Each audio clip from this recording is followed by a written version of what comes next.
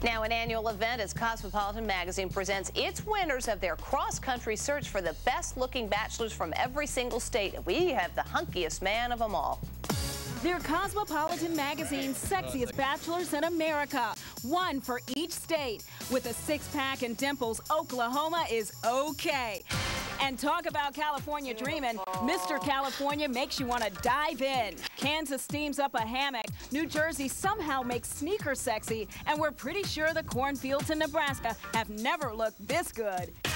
And they're more than just handsome, they're successful too. Virginia is an Air Force fighter pilot. And talk about Dr. McDreamy, Florida is a pre-med student. So which hunk is the hottest of all? Turns out there's still time to vote on the magazine's website.